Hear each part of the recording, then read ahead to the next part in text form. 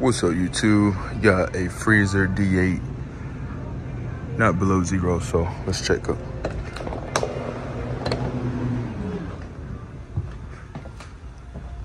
All right, look like all our fans run.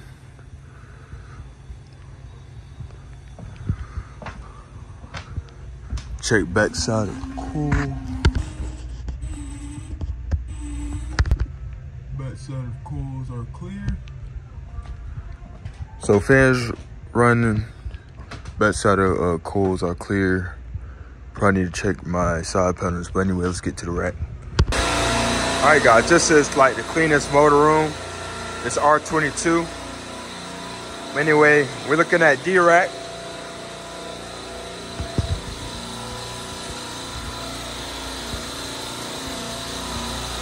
This thing even running?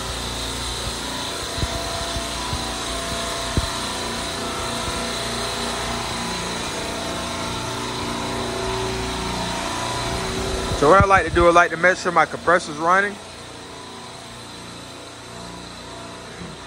like to check my receiver level. Got a ball floating. It's feel kind of cold right here.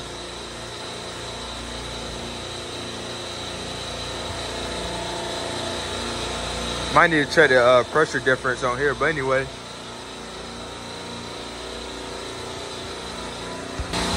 Anyway, it's only calling for three compressors. Betting them strainers probably stocked up. We'll see though.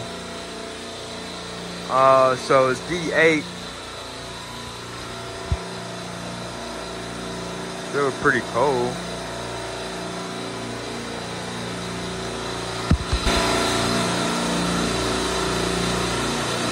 Running. Running. Making sure they ain't running. So everything operating. I'm gonna be honest with you, I don't think that's enough liquid going to them cases. Especially for R22, it should be like around 200. It Should be higher than that. But like I said, when I went over here, so it's kind of, kind of feel cold. Well, I just gotta check the pressures and stuff. I don't want to get thrown off. Kind of feel cold right here though.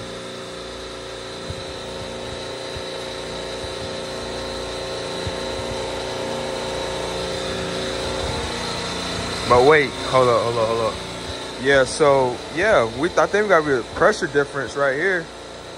That's from the receiver tank going to the cases. It feel cold right here compared to down here. Uh, hmm.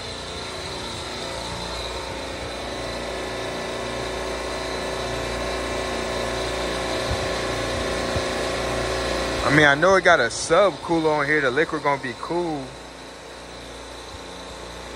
Let me just verify my pressures right quick. Don't want to jump the gun.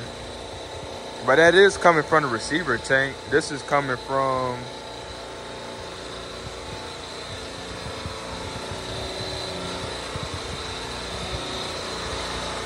Let me get back with y'all in a bit. Let me locate something.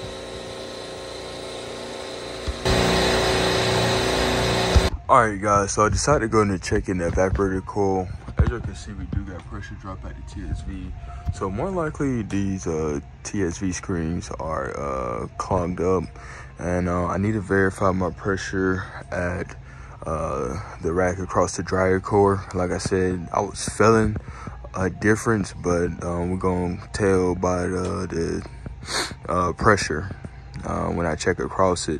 Um, if that give me a huge, huge, huge difference, and I might end up cleaning these TXVs out and then changing the dryer core, which ain't gonna take long to do.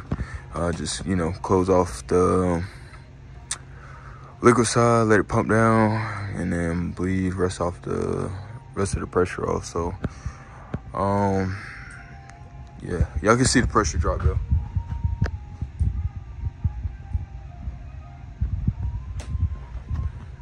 most things I telltale. And guys, this panel wasn't even on, but y'all can see the pressure drop on this uh, side also. Hopefully difficult to get in that tight behind area. But yeah, y'all can see the pressure drop on here. Like I said, coil clear, fans running. Um, rack good, we got compressors running. Um, we had a ball floating. I think it goes up and down. Um, but sight glass is clear. Um, uh, kind of skeptical about my uh, core dryer. Still haven't checked that yet, but I'm finna pop these out. I already pumped the circuit down for this, so finna go get a wrench out my truck because the other one I have is goddamn stripped, but yeah. All right, y'all, so I got the pressure bleeding off. I'm gonna go in and take these out before I walk all the way to my truck because I have brake cleaner and all that, uh, just in case. I'd be surprised if these things are stopped up. It's gonna be a moment of truth. Uh, so we're gonna have to have a moment of silence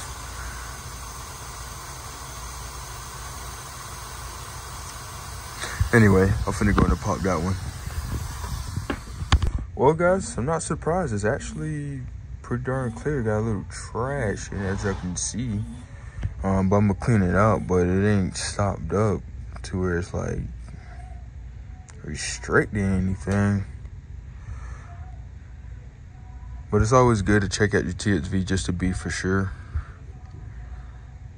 Um, we still got, I'm gonna clean her out still. Still got a little, but she she clear as day as y'all can see. All right, guys. So I checked across this dryer. I'm getting 130, same across. Uh, TXV is clean. Uh, right now I got three other circuits off on the liquid side to see if that make any difference on uh, temperature wise. Make sure I ain't low on gas.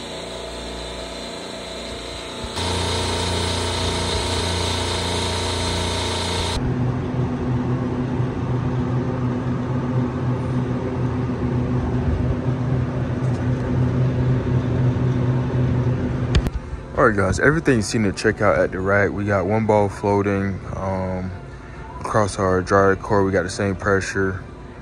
Um, what else? We got enough pressure going to uh, the evaporator coil fans running coil clear. Um, what else? Hmm Anyway, I closed off two circuits, or maybe three. It still ain't made no difference. Uh, I, believe so um, that the door had been opened up for a good period of time. Cause as soon as you open up this door, that gauge raised up quick, and that air just escaped out so quick. Um, right now it's uh, dropping at zero, but right now I'm checking my box temp inside. I'm checking the discharge air temp it's in the negatives and stuff, I'm gonna leave it as is. Um, I don't see anything uh, crazy right about now. Um, but the high tent alarm is like 15 degrees.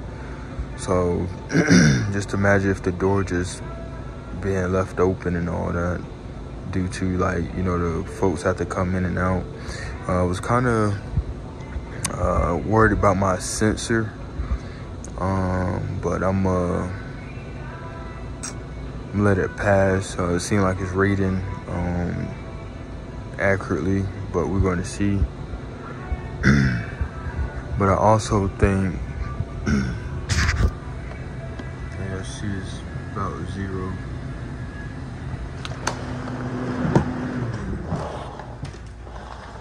But as you can see, I'm checking the discharge air temp right about now. But I want to think these boxes are an issue too. Just up against the coil. I mean, you're not really going to get that air circulating on that backside of the coil either. I don't know. I think that's just stacked up too high for me. Y'all let me know y'all opinion. I think it's stacked up too high. but it feel cold as freak in here man. It's reading four. I just opened up the door. was reading for, but I just opened up the door and all that. But I'm gonna let it roll and stuff, um, and I'm gonna go about. TXV was kind of kind of dirty, but it wasn't dirty. You can still see through it, which is um, amazing and all that to me. Um, but I think that that stuff right there, issue right there. Gotta be. And having that door open, because like I said, as soon as you open up that door, boy, it's over.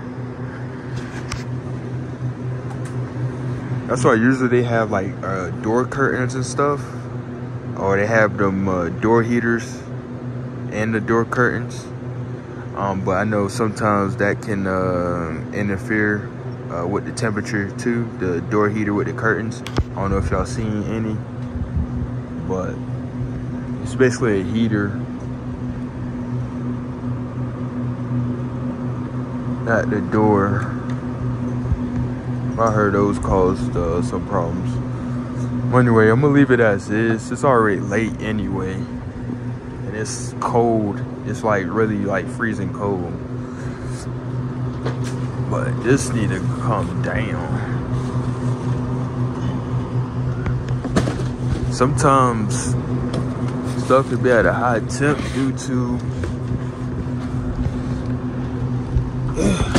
boxes, product blowing airflow and stuff. I mean, I said blowing airflow, blocking airflow.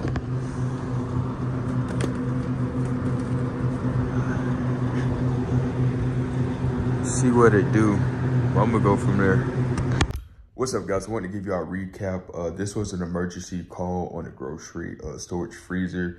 Apparently, um, they said it was reading at 17 degrees, but when I got there, um, as y'all have seen, the temperature it was like below 10. Usually it's supposed to be reading around zero. Um, as you can see towards the end, I got it uh, towards zero. Uh, but what I'm thinking, what was uh, really the um, primary issue is having that door open because the moment you have that door open, uh, the temp gauge is raising up and the temp off the sensor is raising up uh, at the controller itself too. And of course your fans are going to be off. Um, refrigeration is going to be canceled. Um, but everything checked out fine, like including my dry cores. I didn't have no filter dryers above the cooler or anywhere near. Uh, checked the TXV uh, screens. It was partially clogged, but I still cleaned them anyway. Um, what else? I mean, I turned off two circuits, you know, just to see if my pressures uh, raise up, but that's just how it is on that um, particular rack because it's uh, got a subcooler on there. Um, I noticed when certain amount of cases go in defrost, um, because it is hot gas, um, the pressure uh, tends to uh, go to 200. So it ranged between, I believe, 110 or 120 to 200 it goes, but the temperature still miraculously uh, comes down like it's supposed to. Um, but yeah, that's uh, pretty much it. I, I, me, I believe the door had just been open um, for a long period of time. Um, and then also just finding TXV's partially called, so I'm glad we got that straightened. But um, I ain't getting no call back on it or anything. Um, so I mean, she doing fine, right, running fine. Uh, if y'all made it this far, hope y'all consider subscribing. Um, thank y'all. Uh, like the video, share it, and drop some input down below. Um, let me know y'all approach. Um, me always check the freezer and stuff first, and then I go out my rack. Um, but uh, don't go to any service call with tunnel vision. Always trying to have your uh, mind expanded, because uh, just going in there tunnel vision um, you're not going to solve other issues um, that can uh, be part of the problem. So um, that's pretty much it.